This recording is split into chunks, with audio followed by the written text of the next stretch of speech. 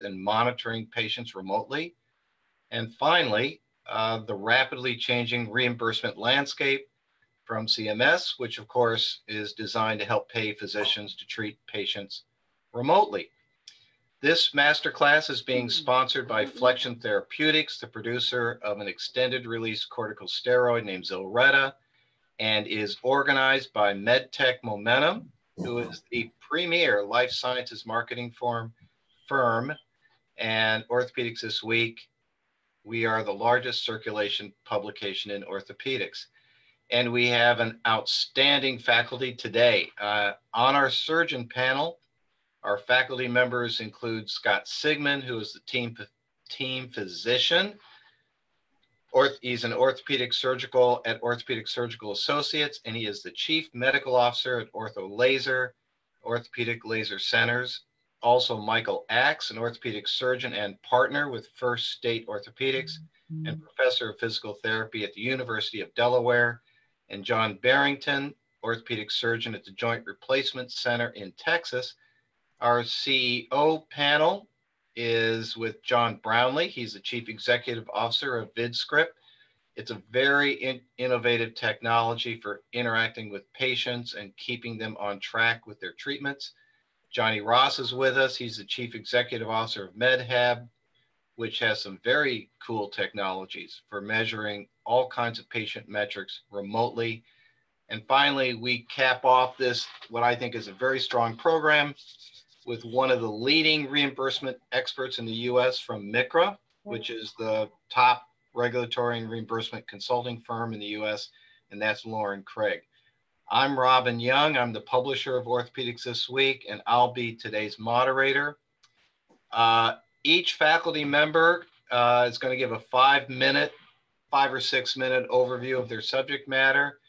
And then after all the talks are done, they'll answer your questions. So please, during the uh, during the presentations, just go right ahead and, and put in your questions. We've got about 300 participants in our virtual classroom today. So one very important piece of administrative housekeeping that we should get out of the way, how to ask a question. Write your questions in the chat section of the Zoom app. So it's right at the bottom of the picture there and just wiggle your cursor, you'll see it. Be sure to indicate who, to whom you are directing your question. So I thank you all for joining us today, and I am really looking forward to our to our program. Uh, it is my great pleasure to introduce this terrific panel of physician. And first at bat is Scott Sigman. So Scott, how are you working with your patients who have had their surgeries delayed and need your help? Scott? Great, Robin. Thanks for having me. I appreciate it. Um, the bottom line is, guys, uh, this is my first global pandemic. Uh, and as many emails as I've been checking, uh, I have not been able to get a playbook on how we're supposed to be treating our patients. So we're really flying by the seat of our pants here, trying to decide the safety of our, of our staff, the safety of our patients, but yet also provide effective treatment for our patients that are in knee pain. As everyone is aware, elective surgery has essentially been shut down. Uh, we have no idea when that's going to be uh, reopening at this point. So you know, for me, as I was uh, trying to decide what sort of treatment options that we have for our patients with osteoarthritis knee pain, I was like, okay, let's come up with a plan that's going to uh, minimize the exposure to patient and staff. But then we also want to have some duration of action, right? I want a reproducible, reliable duration to hopefully allow the patient to get pain relief, be seen quickly for a 10 minute appointment for an injection, and then allow them to sort of hopefully stay out of the office for a period of time. So that's for for the process of what's happening here during a pandemic. Now let's talk about post pandemic as we emerge from this pandemic. How are we going to treat our patients? We're going to have a huge backlog. I mean, these elective surgeries, we, we were barely keeping up with elective surgery for most arthroplasty surgeons in, in the pre-pandemic era. So how are we going to do this with all of these extra patients? So Vin Das is a close friend of mine, vice chairman of the LSU Department of Orthopedics. He's mm-hmm. predicting it may take two to three years for us to be able to manage this backlog of elective arthroplasty patients. So, what are we going to do? Well, we got to provide them pain relief. and providing uh, someone with pain relief with a reliable, predictable uh, three month course of, of action or duration of action, according to the FDA pivotal study, uh, upwards of 70% of patients get pain relief out to three months. That's pretty good. So, so really, Zilretta falls into a really good option uh, for treatment for me as well. So, I am also a national leader in opioid sparing strategies. It's one of my great passions. One of the things that I'm most worried about with teleconferencing and this backlog of patients, our doctor's going to get a little lazy here and start prescribing opioids for these chronic conditions. And I want to emphasize so important. The last thing you want to do is take an opioid naive patient with a chronic problem and provide them opioids because now you've made them opioid addictive and now they have two problems. So one of the a couple of things that have sort of come up as in the discussion as we've been talking about our plans within our office for treatment one of the concerns that I hear routinely is are we setting up our patients for a, a, decreased immune response by doing a corticosteroid to the knee in the setting of this pandemic? And the CDC has opined on that. Uh, and they have uh, basically stated at this point that they have there's no evidence uh, for decreased immunity in the setting of, of this COVID-2, COVID-19 pandemic. Uh, so we're following along the CDC guidelines. And when patients are in pain, requiring issue, I think an intra-articular injection of corticosteroid is very reasonable. And then providing them three months of relief. Uh, Zilretta is my go-to to try and keep them out in their office. Uh, I'm sorry, out of the office for as long as possible. One of the other things I'm going to finish up with this is that we hear routinely about when can you do a knee replacement after an intra-articular injection of cortisone, and and if you poll uh, surgeons across the country, it's anywhere from three months to six months, but most people sort of fall into the three month category. And, the thought process is the reason that you have a slight increased risk of infection after an intra-articular injection of cortisone is that you inoculate the joint with maybe one or two bacterium that just sort of sit there uh, and then they're waiting for action. You do surgery, and then uh, infection happens. So to, to be clear, there are no studies on Zilretta uh, at what timeline would be safe or not safe in the setting of a total knee replacement. What we do have studies which clearly demonstrate that Zilretta, which is triamcinolone acetonide, is out of the joint within three months. And we also have discrete evidence that shows that the microspheres, which is the delivering agent for this, is out of the knee within four months. So it might be interesting that the panel might be able to jump in and describe what their thoughts are. I'm sure we'll get some questions as well, but thank you very much for the opportunity. Thank you, Scott. That was, that was really terrific. Uh, before we start with our next speaker, uh, I think we may have uh, a poll that we can uh, share with our audience. Uh, Carolina?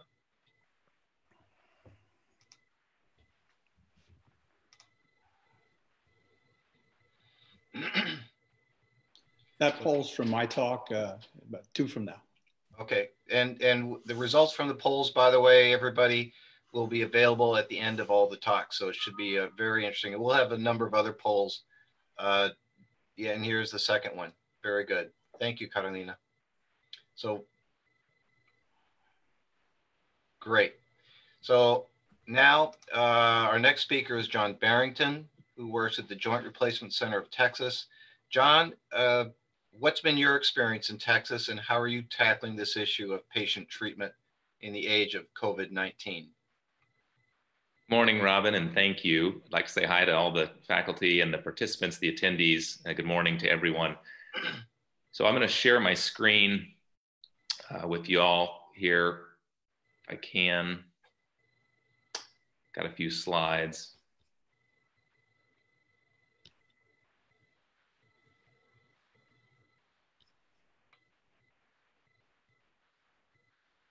Okay.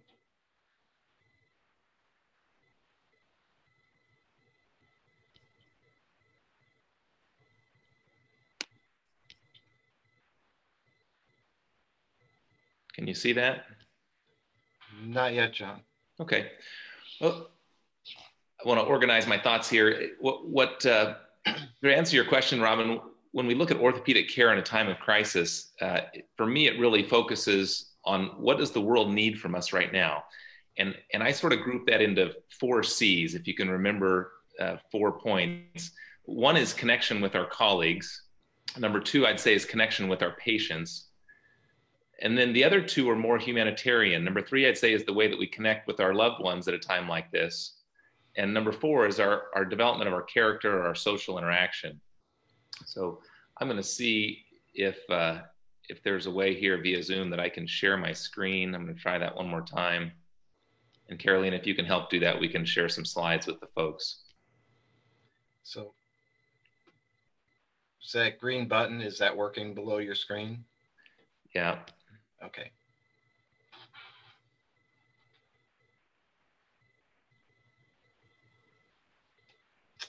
I, I, I don't think we're seeing it yet, John. Sorry.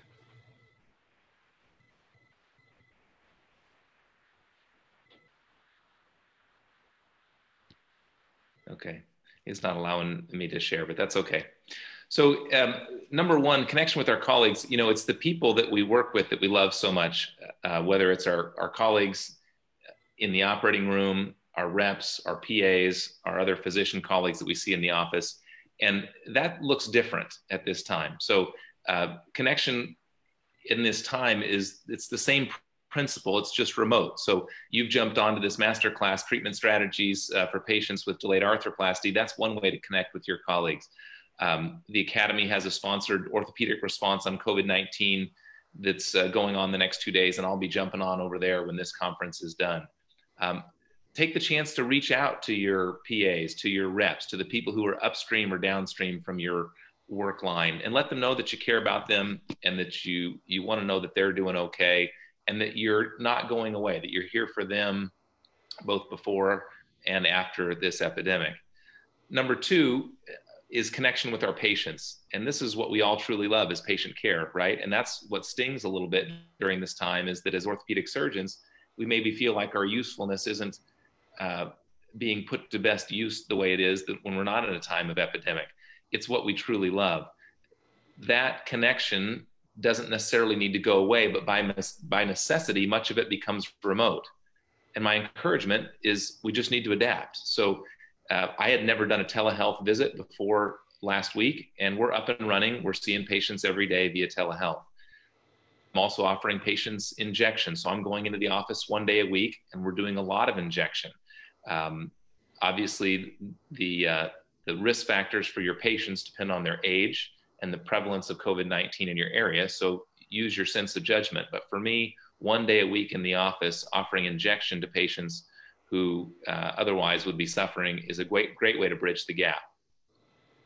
In terms of what we're using, uh, we know from good phase three pivotal trial uh, published in the Journal of Bone and Joint Surgery in 2018 by Conaghan and Associates that using an extended release triamcinolone provides excellent pain relief um, and our exploratory endpoints of WOMAC and KOOS subscale show that the relief we get at four months is about equivalent uh, with extended release triamcinolone to what we get with crystalline suspension or short acting triamcinolone at one month. So uh, this is something to consider when we think about how can we bridge the gap for patients over a time frame that may be longer than just one to two months.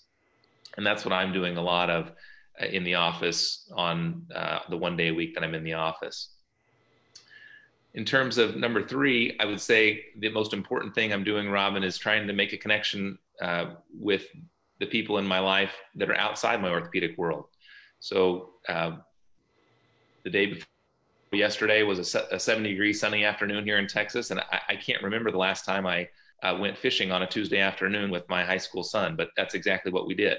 And um, whether it's call your parent, call your child, uh, write a, an email note or a text uh, to a friend or a loved one, I think that one of the things that we can do during a time like this is reconnect or re-engage in a way that we haven't previously. And then number four, I think the way that we stand tall in a time like this is via character. Um, each of you that are on this call have an exceptional ability to learn. Uh, you have the capacity and the time material on the pandemic that we're going through right now. You have the ability to coalesce and summarize information. And then finally, each of you has a circle of influence that needs your thoughtfulness and your stability right now. And that combination of uh, coalescing of information and thoughtfulness and uh, a physical and emotional stability can be a tremendous benefit to the people around you. So, in summary, I'd say as orthopedists right now, what the world needs from us are, are, really four C's connection with our colleagues, we need to stay sharp. Connection with our patients, be a source of help for them. connect with your loved ones, re-engage in places that you may not have been engaged recently, and, and in terms of character, be a source of hope and stability for those around you. And that's really the summary of my thoughts, Robin. I'll send it back to the panel. John, uh, that was really, really good. I, uh, I think all of us, second, third, fourth, fifth, uh, we uh, we entirely agree with you. And I think in times like this, we we go into the crisis. We communicate twice as much as we used to. So those, John, you you you you are exactly right. Thank you, uh, Dr. Axe. Now I know you employ several strategies, including I think a radio talk show, and I and you deal like the vast majority of orthopedic and sports medicine physicians do with all kinds of patients, diabetic patients, obese, and so forth. Uh, how have you approached the challenges of these times? Well, I have a couple things. Uh, the first is I'm the chair for sports safety here in the state, and we canned all our schedules. So last night, one of my radio guys said, "Well, what are you doing? What do you think?" Well, I'm happy to hear that the NCAA has extended their seasons for those kids that are playing uh, that didn't get a chance to play. But they put me on the bench because I'm over 65. My partner says the young guys are going to take this on, so they said do something else with your time. So that's what I'm doing. So there's some things we're going to learn from this from this orthopedics. We're going to respond to these situations.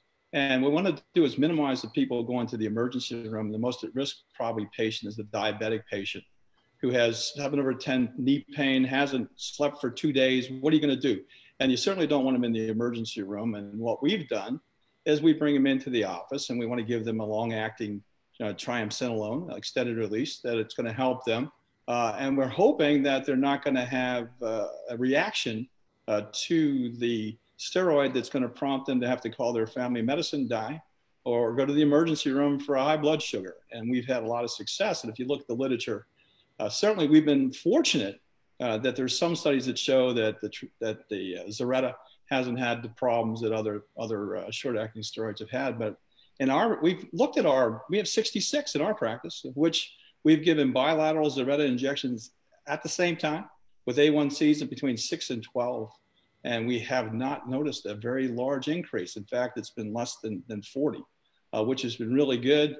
And it res- responded with, back within two days. No need to go to the emergency room or to see their family doc, and no repeat office exposure. They don't have to come back for 12 weeks. So that's certainly one. And I think that that first uh, question that we put up there, we've already answered uh, which was, uh, if you would put that up for me on the glucose question. Carolina?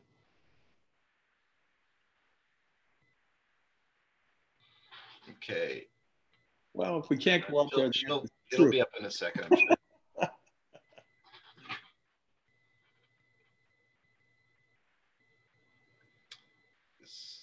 Oh, so the other thing, Rob, is if they went to the emergency room expecting a shot for that seven over 10 pain that didn't sleep for, at least in Delaware, they're not going to get a shot. Our docs are, don't stock the drugs and aren't willing to really give it. So they're going to end up having the pain anyway. So you should keep your office uh, open if you can.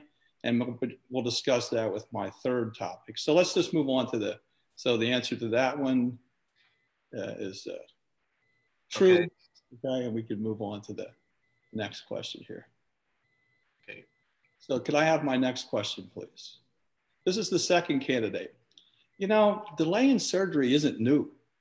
Uh, those of us that have patients that are biggins that are over that 49 uh, BMI, they can't have surgery or shouldn't have surgery because their incidence of problems goes way up uh, in the complications. So we've been practicing this technique of delaying surgery for a while. So we probably should draw from those things that we've been doing and I don't know if the question will come up if it comes up, but if you have a BMI of 49, the likelihood of you be being under 45, which is what we're searching for, at least the minimum of 45, is going to be 1% per month or four months. Well, gosh, put four months of Zilretta's action together with the four months that you need to delay surgery anyway.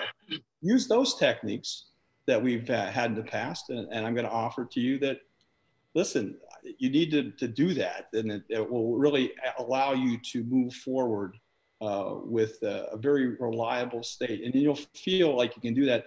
And uh, being a physical therapy professor, we tend to, to like a prehab program. It gives you time to get strong. So while you're waiting to have your surgery, I encourage you to get on your exercise program and use these three to four months that your surgery was delayed to do something productive. So that's my that's my rehab uh, uh, spot. The uh, the sec the last one is how do we keep our office open? Boy, of us felt really relieved when JBJS came out with the Singapore experience and the CDC. And our office has been able to really move forward with a program that uh, we chose our largest office. It has three six patient room uh, availabilities. We rotate our staff. We wear masks and gloves. We schedule our people uh, a little lighter so that no one is sitting in the waiting room. We have the waiting room marked off so that you have uh, six feet between you and the next chair, uh, which is what we wanted to do. But what we've really done is we have the people wait in the car and we call them in when it's their turn for their appointment. They can bring one loved one in, and that has really been helpful. Now, after this is all done, we have uh, we have the first responders prioritized program that we began in our office, which is basically those people that are first responders, policemen, firemen, healthcare workers, those essential workers that we see uh, as demarcated by the government that these are essential. Uh, we have them at the top of the list, ready to go. Why? Because they got to heal and recover. And these are the guys that are going to be backing up. They're the reserves to the people that are working currently. So we would offer to others consider those people, put them at the top of your list, and operate whenever you can to get them ready because that is the second team that needs to be the first team. That's all I got. that was great. No, that was that was just really really excellent. Uh, we are we we have a. have uh, never heard the term before, Zoom bombing, but apparently we have so many people in our in our room in our room that it is limiting the features of Zoom right now, and and we will be putting up uh, some additional poll questions for everyone to participate in as as things I guess uh, free up. Interestingly enough, our attendance is growing as we move along here. This is uh, this is turning into a, a terrific panel and a terrific masterclass. So uh, we will have questions for our, our physicians at the end of this, and we're going to have results from some of the polls at the end of it. Right now, we're moving into our CEO panel. And again, you're hearing some strategies. You're hearing about how they're using injections, how they're staying in touch with their patients. There's a couple companies that have come up with what I think are pretty interesting, novel approaches to help physicians do exactly that. So, our first chief executive officer and company uh, is uh, John Brownlee with VidScript, and I'm very excited about your company, and I'm looking forward to hearing your presentation. John, you're up. Thank you, Robin. I appreciate that.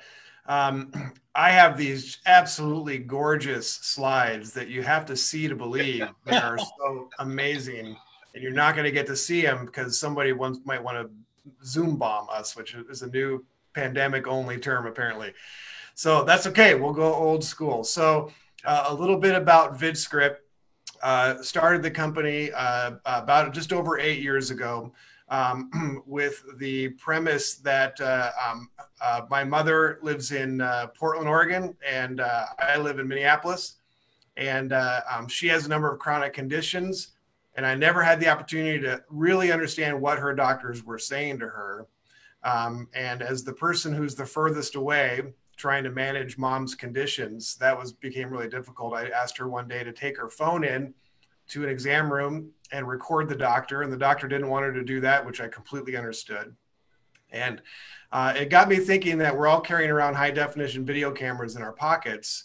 And yet, we know that um, for those of you who are healthcare providers uh, on this, uh, you repeat yourselves all the time, every day, over and over again. You say the same things to patients over and over again. But studies show that patients forget maybe up to 85 uh, percent of what they learn at the point of care. And the perishable nature of those encounters mean that they can uh, patients call back and consume staff time. Uh, patient satisfaction is lower when they just don't really feel like they understand what's going on. Uh, patients cancel appointments and, and, and procedures. Uh, they arrive for procedures, they're not prepared, and all of these things that everybody who's a, a provider on the, on the call um, certainly understands. So, what we did eight years ago is begin to think about how we could create simple video recordings uh, of healthcare providers and then allow them to share those recordings directly with their patients uh, and do that in a way that's highly scalable and uh, it's it, we certainly didn't have we certainly didn't have it figured out in the first few years, but um, but we've gotten pretty good at it now. And so our platform is called VidScript. I'm going to show you. Hopefully, you can see. Yeah, yeah. That is a VidScript. Yeah. This is Dr. Greg Barton. He's an orthopedic surgeon in Miami. And what he's done is he's sat in front of his laptop, and we have a virtual recording studio that interviews him and asks him a whole bunch of questions. In this case, he's uh, he's created a series of vid scripts about total knee replacement. So it's everything from it's a week before surgery to the night before surgery to the day after, 90 days after, and so forth. He answers all those questions just sitting in front of his laptop. We take over the camera, we record his answers, and then we stitch together those little videos into what we call vid scripts, which are video prescriptions. And then those video prescriptions can be delivered to a patient via a text message at just the right time in a care episode. So the night before surgery, for those of you who maybe call your patients the night before surgery, um, if you can think about what it would be like to call a patient who had just had all of their questions answered about their surgery by you by video, and you think about what the change, what the different nature of that conversation uh, might be. Uh, so we've been doing this for eight years or so. We've got some really great data that shows this can impact some outcomes that people care about. Um, one one slide that I was going to show you is uh, um, uh, surgery cancellation rates. So um, in urology, we, we, do a lot of work in urology, and uh, there's a number of the elective procedures in urology that have very high cancellation rates for a number of reasons. Um, in one case, 37% cancellation rate that we were able to reduce to 11%. So that's a 70% relative risk, risk reduction or relative reduction in cancellations, um, just simply as a result of the patient receiving by a text message their own doctor um, at, at, leading up to um, leading up to that procedure. So in the best of times, VidScript is used to help patients navigate a surgical procedure or be discharged after a procedure or a new diagnosis or any number of things. But in pandemic, in particular, we have a situation where your capacity is is declining because your staff is laid off and furloughed. Yet the information requirements from patients is probably increasing. And I think when you're all back to work and everybody's trying to figure out how they're going to slot their procedures back in, I think that that uh, that that dynamic is going. You're trying to re-onboard your your employees and engage with your patients. I think the the the need to in a highly scalable yet also personal way to communicate the right information is going to be really acute. Um, so, what I would uh, suggest to you, if you're interested in this, uh, we have a uh, uh, uh we have partnered with AstraZeneca Pharmaceuticals to develop a COVID-specific education program on the VidScript platform. It's going to launch tomorrow. And if I could show you my slide, I would. But all you need to do, if you want an invitation to that program, is send us a text message and so you're going to have to write this down because you're not going to be able to see it. But our short code is 73771. 73771. That's the phone number you send it to. And just in the message, just write COVID 19. Doesn't have to be case sensitive or anything. Just write COVID 19 in the message. Send that to 73771. You'll get a little confirmation back that says, Thank you, you're on the waiting list. And as soon as the, um, there we go, as soon as the um, program launches. And we're very grateful to AstraZeneca for their sponsorship of this program. They've been amazing.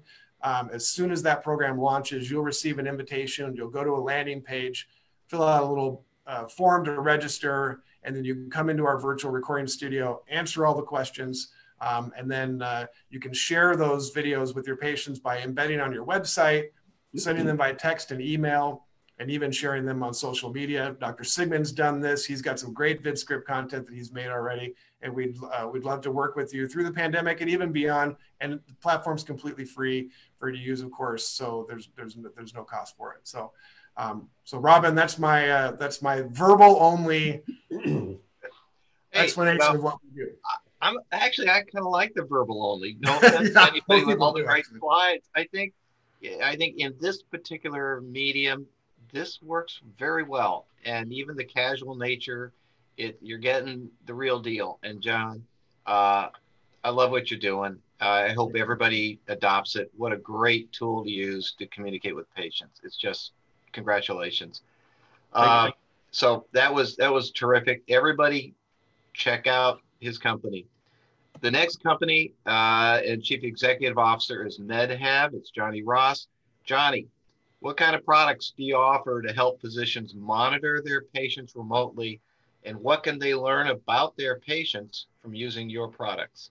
Excellent. Well, first of all, thank you for putting this on. Uh, all of you for attending today. I wish you all uh, health in these troubling times. Uh, MedHab was uh, formed in uh, actually in 2008 when we started this journey of remote technology. It was really based on, on a knee injury that I had just from years and years of sports. Uh, but we have two technologies that are available for, for, for providers today for remote uh, physical therapy. Quite frankly, one is StepRite. Uh, think of an insole, uh, just like a Dr. Scholl's that you would see in the store, uh, with the exception all the technology that we have is resident within the insole.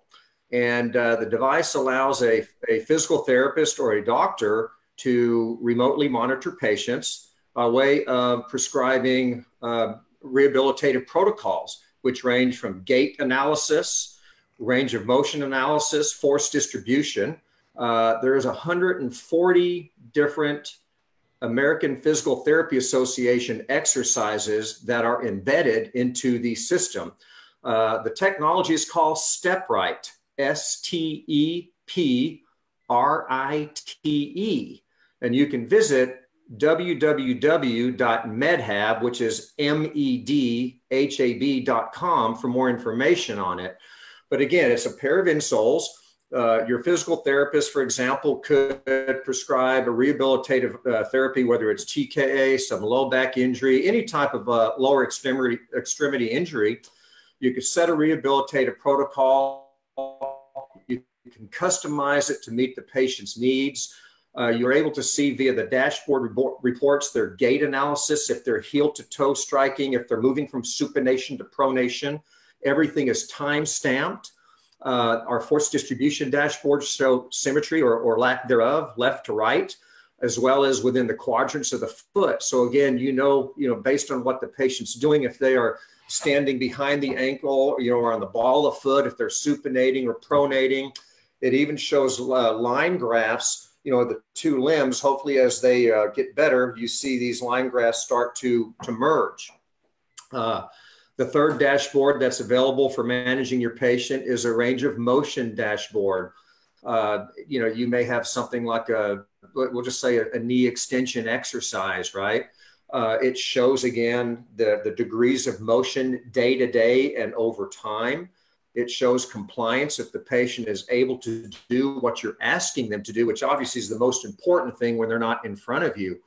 Uh, the technology can actually be used pre and post operatively um, to manage your patients. And I think at a time right now, pre operative would be very apropos to, to use.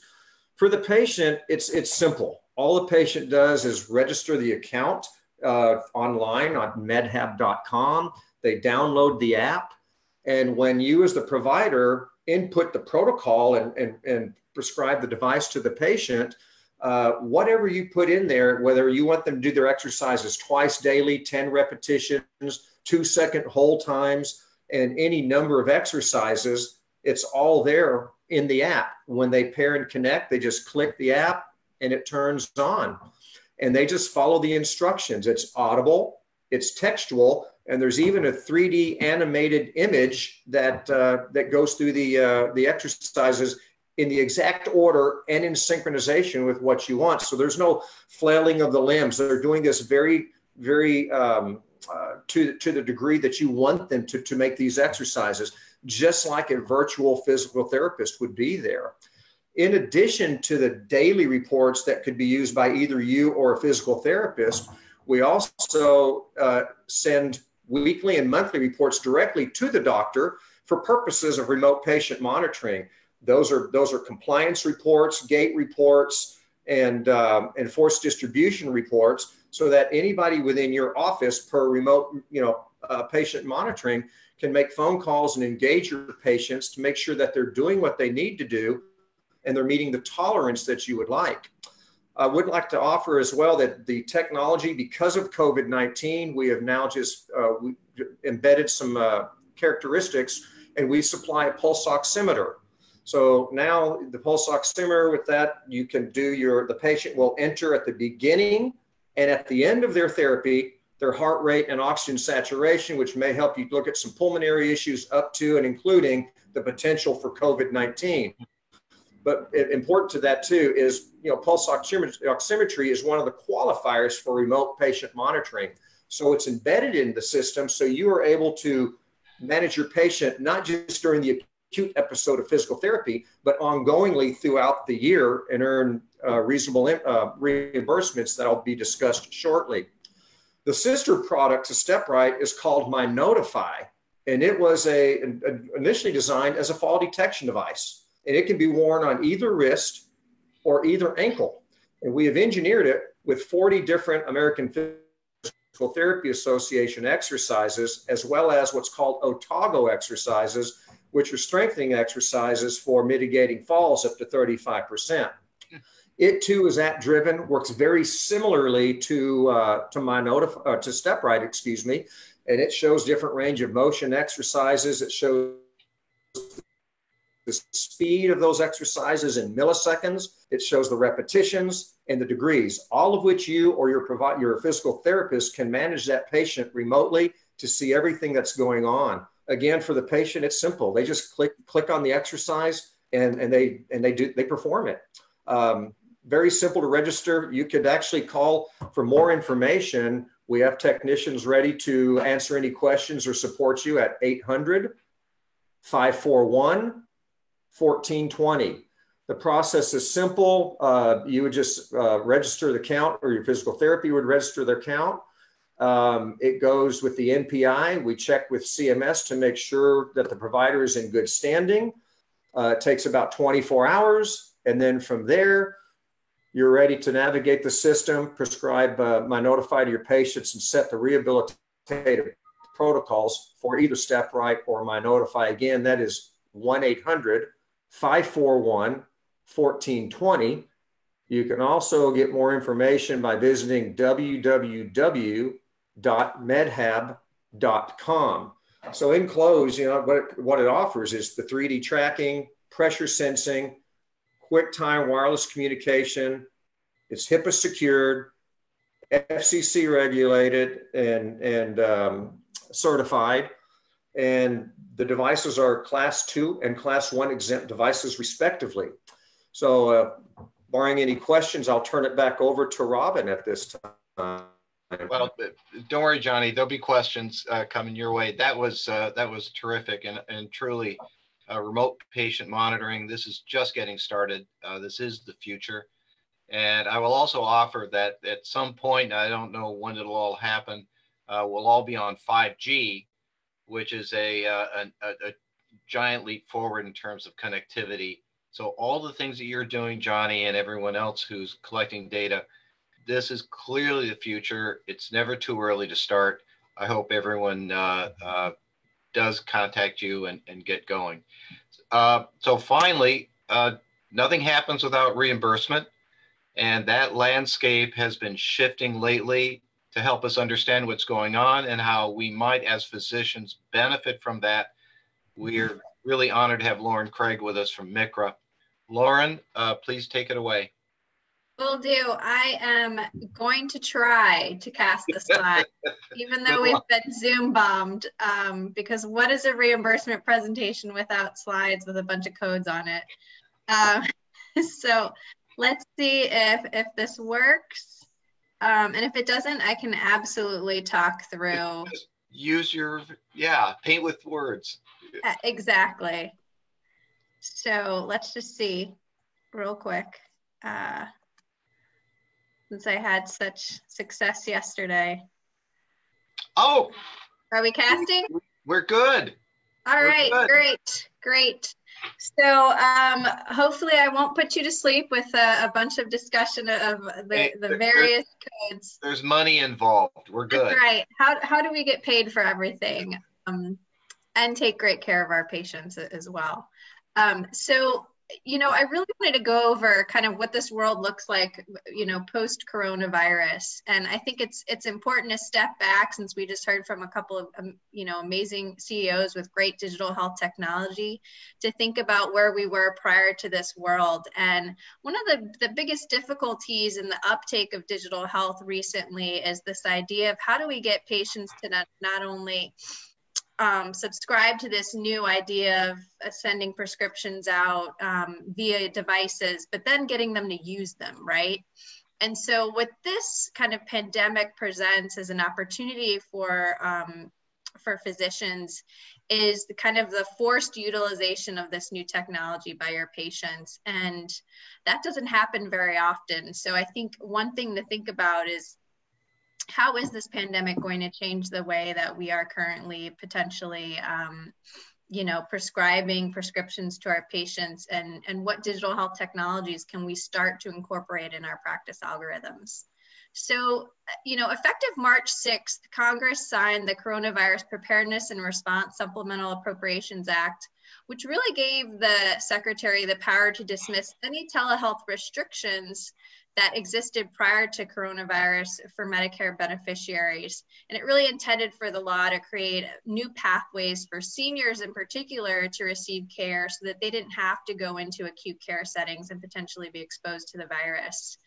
Um, within this Appropriations Act, the 1135 waiver was also passed. And what this said primarily is that, and these slides will be sent out to everybody, but it really lifted restrictions on the use of telehealth services. So prior to this 1135 waiver, the patient had to have been an established patient. That's the primary, um, you know, guideline. And then secondarily, they really could, these codes really could only be used for patients that were in rural settings. So that couldn't easily drive to a physician's office. And that meant that, um, and this, these are Medicare regulations, obviously not private um, insurance regulations, that really kind of you know decrease the utilization of these codes and the uptick of digital health technology in general. So with these passages, Medicare said they will not only pay for telehealth services to patients that aren't already established, that don't live in rural health areas, but they agreed that the payment would be at the same rate as an in-person visit for any diagnosis.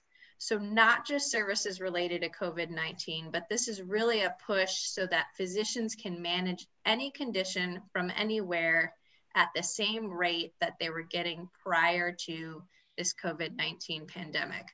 Which, and if you think about it from a, you know, an overall perspective, is a really great thing and really can push the utilization of digital health and remote patient monitoring devices forward. So, um, the, the other thing is physicians can reduce or waive cost sharing for telehealth visits. Now, there is this discussion about, you know, what does that mean for the anti-kickback statute that exists? And so the AMA is really working with CMS to look into that. Um, but physicians can provide telehealth services from their home. So prior again to this 1135 waiver, telehealth services, if, if you're as a physician wanted to provide that, you really had to be within the bounds of either the hospital you were working at or, um, you know, your office. Uh, there also is, is flexibility as to what constitutes a device that can be used um, that is HIPAA compliant, right? So prior to the 1135 waiver, FaceTime and Skype weren't necessarily considered HIPAA compliant.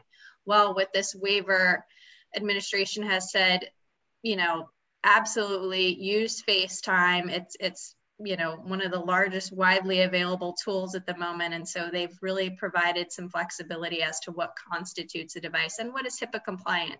I think we all know that you know the idea of, of HIPAA compliance within communicating with our patients through portals has been a little bit difficult sometimes from an uptick standpoint.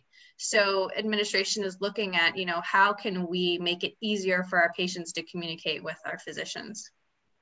The AMA has some great resources, so I encourage you to really go to their website and we will be sharing some of those as well.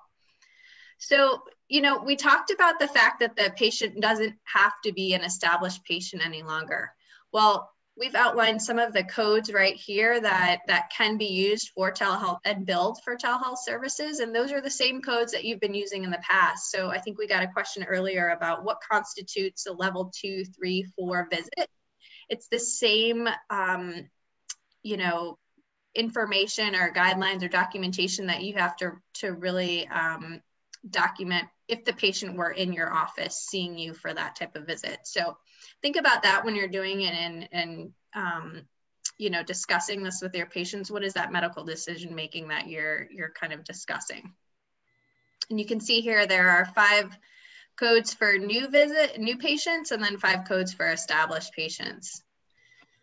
So the other thing uh, prior to pre to, to the coronavirus is there were G codes established in 2019, and those will continue to be utilized going forward. Uh, and you can see that there's a big focus on inpatient telehealth follow-up, and then also some telehealth uh, pharmaceutical management. So you know the discussion that we were having earlier is very relevant. And then there's also a remote evaluation of recorded video. So if your patient, you know, wants to show you exactly kind of what they're going through and they want to send it to you, um, you know, they're really trying to look at how can we capture as much data as possible during this time. So we talked a little bit about remote patient monitoring. And I think that the big thing to remember from remote patient monitoring and the big question out there is what constitutes a device that's able to be used for remote mm. patient monitoring. And, and um, Johnny Ross kind of touched on this earlier, but there was another big change that really recently happened. And prior to 2019, physicians were the only ones who are allowed to bill for and practice remote patient monitoring. And in 2019, we saw a technical correction to the CPT code 99457, which allowed for incident to billing, which basically means that nurses and licensed care managers are actually now able to bill for and perform remote, patient monitoring. And this was really under the guise of wanting to free up time for, you know, our physicians to be able to practice at the top of their license. So, um, you know, we've provided a link here that kind of discusses that that change uh, more in depth, but that was a pretty significant change what does that mean for your practice? It, just means that more of these, as more of these devices really, um, you know, pop up and um, and your patients are able to kind of use them to to really track their conditions at home, you can actually have some of your nurses or or some of your um, personnel that have downtime potentially, and you can really kind of engage with your patients in a different way than maybe you had before. So we've um, we've included the codes here and their descriptors and, and you can see here that you know there are a couple of examples of what constitutes remote patient monitoring. Obviously recording of weight recording of blood pressure pulse oximetry respiratory flow rate. So it really has to do with something related back to either a vital or, or something that you would be documenting in the chart. Um, one thing I, I did want to clarify though is that there were 23 codes that were released recently to help clarify the services that um, that fall under remote patient monitoring. So even if maybe it's not included in the, the descriptor right here in the code descriptor, I would follow up with your specialty society or, or, somebody that you work with within your hospital to really discuss what is what is remote patient monitoring constituted under our definition. And with that, I will turn it back to Robin. Thank you very much. And let me get my screen back on there. Fantastic. Lauren, that was uh, that was terrific. Okay, so before we get going on our questions, I wonder if we could show any of the poll results. And I wonder if we are still being Zoom bombed and if that's if that is a if that is doable. So while we're waiting for that, uh, Yes, and thank you, Lauren. Actually, you did speak to this, but I'm going to put up the question anyway. Uh, and uh, it comes from uh, uh, one of our panelists, or excuse me, one of our audience members. Uh, and I think you did, but can you speak to the reimbursement expectations for telehealth visits? I think you laid that out quite nicely. Have you had any visibility to the expected billing rates for each visit and the types of patient interactions that qualify uh, as a two, three, or four? Oh, I'm sorry. Here we have some poll results. Because of COVID 19 concerns, I am treating most of my patients from home. About half of you are, about a fourth of you are in my clinic, and about a fourth are other.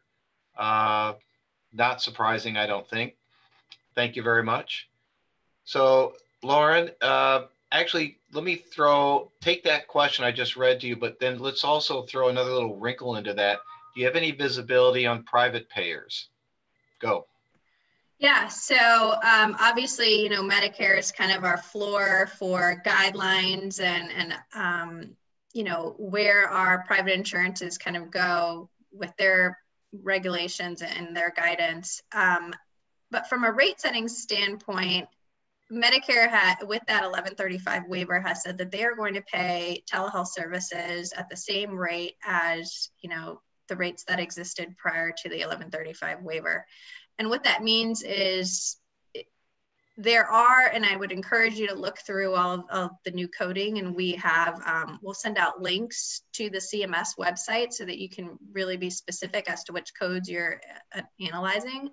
But what, what it really comes down to is you're able to use the existing codes out even outside of telehealth um, to capture, you know, any um, any engagement that you've had with your patient. So if you're having a discussion with your patient and it is longer than 10 to 15 minutes, then I would encourage you to look at the 99 series codes that existed. That, and if you feel like you're spending time with those patients that that you know would have been potentially the same time frame that you would have spent with them within your office, then you know it would be worth looking at the 99 series codes rather than potentially the telehealth codes. It just it comes, and that's where the clinical judgment probably comes in, right? So um, one thing that did exist prior to coronavirus with telehealth, again, is the idea that this patient had to be established. And I wanted to go over that because that's a that's a big change for you as practicing physicians because the patient had to have been established, it really limited the interactions that you could bill for as, as a telehealth service provider. And what I mean by that is if you had an interaction that was five to 10 to 15 minutes or less, and it was within a week of you seeing that patient in your office, that technically would have been considered follow up and it would have been bundled into that, you know, visit you would have had within the, the walls of the office the 1135 waiver really took away all of those restrictions. So the way that you should be thinking about your your practicing with telehealth is what what is the medical decision making I'm performing? You know, what is the the value I'm bringing to my patient, and then try to match that up with the code that you're looking to document. And always document, document, document. Oh, there's that. There's that. Yeah. Terrific. Uh, very good. Actually, we are we are fortunate. We had uh, among our audience members is Kevin Plancher, who organizes a wonderful meeting in in uh, an orthopedic summit in Las Vegas every year. He he gave us a wonderful comment, and I'll read it to everybody right now. And if any of the panelists want to comment on it, that'd be great. He says, in terms of the backlog of surgical patients, you should always consider caring for those who can't afford healthcare. Of course, take care of them. Everyone else if we now change healthcare completely and make it like New York City and learn who might have finances now, might have skin in the game, and make patients pay a portion of their care, I bet that backlog of patients won't be there because many of those operations the pay, patient thinks they need, they will now think twice about. We also know the patient will be more educated, just like deciding to buy anything. As Kevin says, that was just an out of the box thought. Uh, Mike, Michael, do you have any reaction to that? And then John, any thoughts? Any, anytime you're taking care of athletes, you're going to be dealing with those type of economic boundaries. So that's a group that wants to go forward because they think that they want to do the things they want to do. Certainly the first responders are going to have it done because those are the folks that are going back on the lines. The people in between, uh, when they decide whether they want a tibial osteotomy or uni or a uni or something like that to feel better, uh, I think that they're going to continue because of quality of life. So anytime there's a quality of life issue, I think they're going to move forward. Yeah, I agree. John, your thought, John Barrington? Yeah, you know, I, in, in terms of using um, decision makers after surgery, I think uh, this is an unknown area for us as well. I, will probably stick to my same clinical decision making that I've been using before in terms of uh, the ethics of moving forward. And, and we're going to start with the backlog of patients who were postponed first and move forward with them. And uh, I'll leave it for the guys that are doing uh, more elective, uh, you know, sports or um, arthroscopic type procedures to, to sort of yeah. um, wade into um, the way that they're making decisions to their surgery. But as a primarily hip and knee and shoulder replacement surgeon, I'm going to use the same criteria that I used before surgery, before the epidemic for after we get started again. Yeah, that makes sense. Scott, what's your feeling? How would you how would you answer that question in terms of your practice? I, I think the elderly are going to still come in for surgery, to be honest with you. Um, so I think the Medicare population in particular will, will, will stick to their surgery. I think the younger, more active population of people that have been out of work now for a period of time. Uh, you know, I'm, I'm primarily a knee and shoulder arthroscopist, and I can tell you, uh, I, the, the, the laborers are not going to come in and have rotator cuff surgery. They're going to postpone. So I think we need to be looking for really solid alternative treatment options for our patients other than surgery. Many of our patients will fall off of that surgical queue uh, in hopes of maintaining uh, their life and their work uh, to be able to provide for their families. Oh, by the way, I have to say, Scott, I love your microphone. Uh, and and uh, some of the panelists may have questions for Laura, Lauren as well. Johnny, uh, do you have any anything you want to ask Lauren? I do actually. Um, in regard to uh, obviously the RPM right now, um, in North Texas, just a comment here, we're seeing that private payers are paying equal to or, or greater than Medicare right now, which is a good thing. My medical director is online and informed me some of this stuff, but uh, also it is my understanding two days ago, Medicare made a ruling that is allowing the, the uh, for virtual reimbursement for the 97,000 evaluation codes so that PTs can, can submit these, uh, this billing remotely, which is a big, big deal. Because if you start thinking about this with right now with practice preservation, you know, with the technology that we have available, the remote uh, coding that's there, not only can the providers make a, a fair and reasonable amount of money per month per patient, but they're trying to protect their physical therapists as well. So, Lauren, can you speak to that a little bit? Yeah, I mean, so I think this kind of gets back to, you know, the fact that with that waiver, you are able to use codes that are already in existing in the code set, and you're encouraged to use those codes as well. I think when we think about from a, payment standpoint, yes, obviously the private insurers are, are likely to pay a percentage higher than Medicare. Um, but also if you think about how how is CMS and how are private payers potentially going to track um, medical decision making for you as physicians being done at your home or in other areas, well, the uh, place of service code 02 did go into effect. So if you as physicians want to use codes that already exist that maybe are outside of the telehealth set, as long as you have that place of service 2 um, code on your claim, that's a way for CMS and, you and um, private insurers to track kind of where that medical decision making occurred. Mm-hmm. Could, could you also maybe talk a little bit about, uh, you know, principal care management and, and specifically code G2064 and 065? G 0264 and 0265. Let me just pull up my code series deck. Mm-hmm. Um, I wish I were that good and I knew them all by heart. yeah. But I'm not there yet. Um, I'm not that good. We've done a lot of research over the last few no, weeks. MCRA, MCRA is the top firm in the country in all of this stuff. But, uh, right. and, and I think you all saw, you know, through Lauren's presentation, why, why they are. Mm-hmm. Uh, and, Absolutely. And, and so, uh, maybe we can post that up later. One of the nice things about this format is not only recording things, but we are also providing a lot of resources in addition to that. So uh, this will be archived. We're going to communicate to everybody, and there'll be more stuff coming. And among the takeaways for sure, uh, for VidScript, it's 73771, and the message is COVID 19. Don't forget.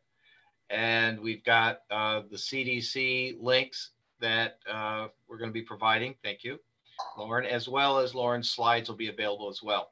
So before With we, all of the codes. Uh, oh, good, go Lauren. Payment rates. So Great, um, exactly the ones that, that Johnny's referring to, we'll have those available for you. fabulous. Thank you. Uh, so I think I'm looking here to see what other questions we've got. I think we're in good shape, uh, which is good for me Well, as the moderator. Yes, sir. Mention of uh, that we have certain procedures that we have that require a longer time to recover.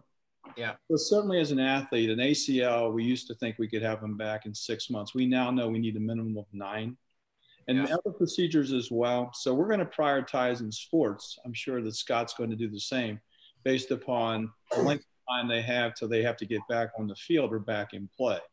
So that does enter into our decision making. We've sat on some ACLs because it's been thought upon to be in this time of crisis not the right thing to do. But certainly they're going to certainly they're going to be on the list of first things done right after the first responders. Well, look, and remember, our patients, you know, they're not coming. The vast, vast majority don't come for us in, with trivial issues. These are they're really they really need some assistance. They are on the way to being functionally disabled. So uh, you can't delay this that long, and they really need some strategies today. Even though surgery may not be one of the options, that's the whole point of our call today is look at other strategies. Among them is a time release corticosteroid, is Zilretta, for example, which is the only one available. And to use all these other ways of staying in touch with our patients and providing information in a variety of ways. That's that's that's our new reality. Well, we Uh, certainly know that elective doesn't mean unnecessary. Oh my gosh. So- So-called elective. Right. So with that stated, if I have had trouble with uh, with both my partners who don't do sports, and I've also had trouble with my colleagues in other groups, thinking that this is indeed the mindset, and it, it's tough. Uh, we have the equipment. That was one of the things that was fearful. Did we have enough gowns and gloves and things to actually run our surgery centers? Right, we to Right. but we're keeping a minimal amount available for emergencies and the like. And we're pushing, uh, letting them know that we were wanting to wait maybe two weeks or four weeks, and they are continuing to do the rehab, which isn't so bad, but uh, it has to be at home. But we know that we're not going to be able to wait too long, or they're going to fall into missing another season. Well, you know, and, and you have the benefit of having a radio show, but Right. the rest of us who don't have radio shows, there's always VidScript, right? Right. So there are ways, and and the main takeaway here is there's some innovative solutions. Zilretta, VidScript, Johnny Ross's uh, products, and and there's more. And there's great guidance coming from AMA, CDC, and uh, always take advantage of the experts like MCRA for sure. So uh, on behalf of everybody and all the participants, uh, this has been, this may not have been a two hour meeting, but that's okay. It's quality over quantity, right, guys? And I just want to thank everybody. You all were outstanding. This truly was a master faculty today. And with that, uh, I wish everyone stay well, take good care of both yourselves and your patients. And most of all, this will all end the COVID 19. It will end eventually. And we're going to do it with faith, grit, and a lot of teamwork. Thanks, guys. Thank you. Thank you. Thank you, Robin.